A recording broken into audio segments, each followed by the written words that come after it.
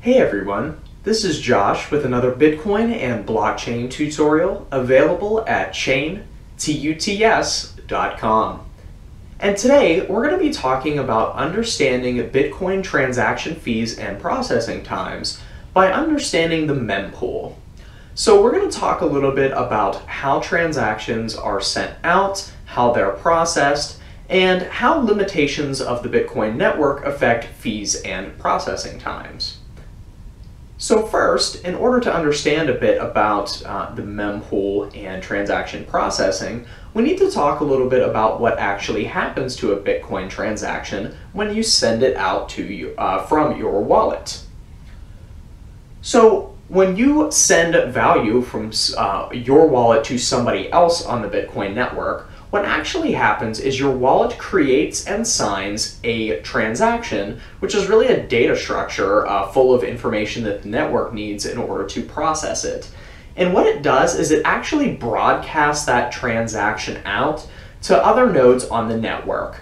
And this occurs in Bitcoin using a pretty simple flood model.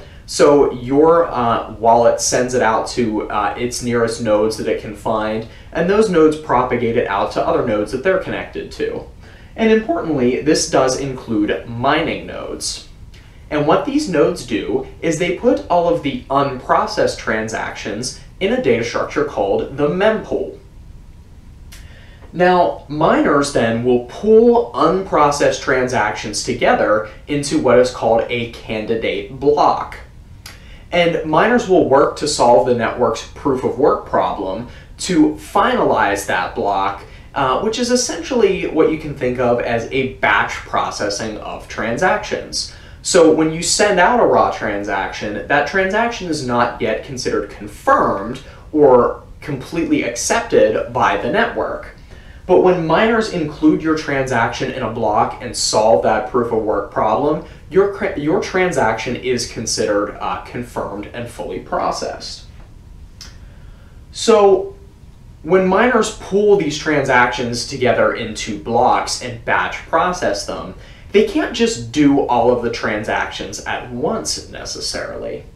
Every cryptocurrency network sets some constraints on the number of transactions that can be processed. So there are two types of constraints on how transactions can be included in blocks.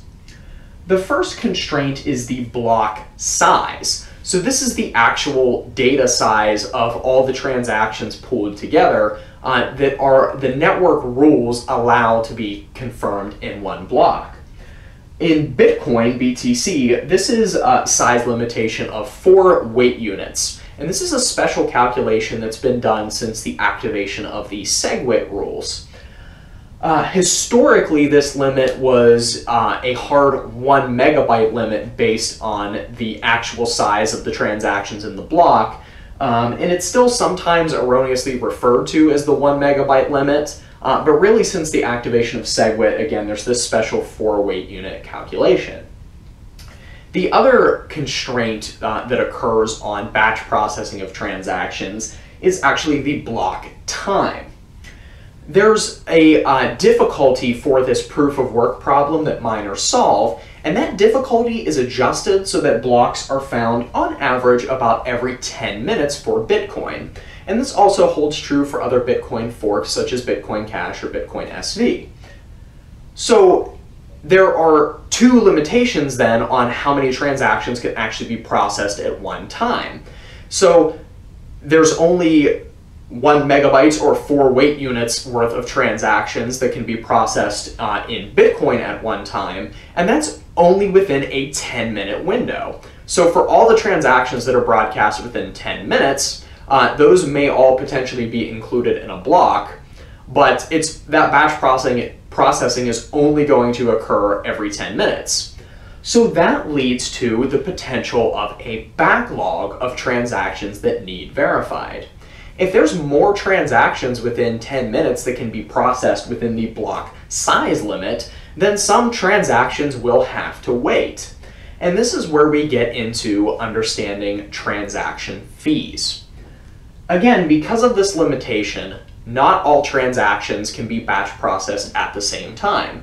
there are often conditions on the Bitcoin network where there are many more transactions that can be fit into one 10 minute four weight unit block. And so therefore, there becomes a supply and demand problem. Miners get to choose which transactions from the mempool that they include in the block that they're processing. And so miners will always choose the transactions that offer up the highest transaction fee. Now, in that case, this creates this sort of fee market. So if there's a backlog in transactions, the users that pay the higher fee will get uh, their transactions confirmed faster. And so over time, as the network backlog might increase, you'll see transaction fees for uh, you know getting included in the next block or the next three or six blocks increase, uh, and they've been historically even as high as 15 or 20 dollars a transaction uh, to be included in the next block. So there are some ways to mitigate this problem of extremely high fees due to network congestion, and it just depends on what a particular cryptocurrency network wants to do. Uh, one example is that you can increase the uh, block time constraint, or really I should say decrease. For example, Litecoin uses a 2.5 minutes block time.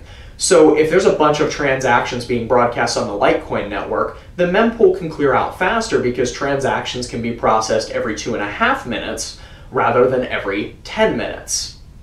Uh, some networks such as Ethereum and Digibyte use lightning fast block times uh, that are only about 15 seconds apiece. Another uh, potential constraint that can be changed is, again, the block size. Uh, forks of Bitcoin, such as Bitcoin Cash, will process a much higher uh, amount of transaction data than one megabyte at a time. And that transaction limit has been increased over time. So the uh, design idea behind Bitcoin Cash, for example, is they keep the 10 uh, minutes block time, but so many more transactions can be fit into one block that the mempool is generally always clear out within that 10 minutes. And by changing these constraints so that the mempool doesn't become congested means that fees stay low and transaction times stay fast. However, uh, you know, there is a debate in the community about some of the trade-offs of this. With faster block times, there is the trade-off of what are called orphan blocks. Uh, remember that miners are all working together to independently solve this proof of work problem in sort of a race to see who gets there first. Uh, there are cases where two miners in different parts of the network solve the problem at about roughly the same time, but depending on how uh, those found blocks are propagated through the rest of the network, uh, one block will win that race and get picked, while the other perfectly valid block will not get included in the blockchain. So that's the concept of an orphaned block. And it turns out that when you have faster block times, you do get an increase in the number of blocks that can become orphaned. And this is just due, simply due to network lag. The other trade-off with block size is somewhat of a hot topic of debate within the community. Um, many renowned Bitcoin experts argue that increased block sizes make it harder for users to run full nodes and therefore have a centralizing effect on the network where only uh, things like mining companies with a lot more resources control more full nodes. Now, in the interest of full disclosure, I'm a fan of Bitcoin Cash and bigger block solutions, and so I don't necessarily agree with that take, but I want to encourage everyone to do their own research on that topic and come to your own conclusions. Again, different cryptocurrencies solve this problem and handle these um, block processing constraints differently, so it just depends on the use cases uh, that you know you care about and uh, the properties of those cryptocurrencies that you care about the most. Uh, you may like the Bitcoin model that's a little bit more conservative, uh, but can result in uh, slower processing for higher fees. Or you may be somebody that really values low fee and very fast process transactions. So maybe you prefer a solution like Bitcoin Cash or Digibyte or Litecoin. It's all up to you. The great thing about cryptocurrency is there's a vast market out there of differing solutions. So this has been a little bit about understanding the mempool and uh, block processing and how it affects transaction fees. As always, there is a written article on the Chain Tutorials website that accompanies this video tutorial if you like to learn that way. And as always, I want to thank you very much for listening.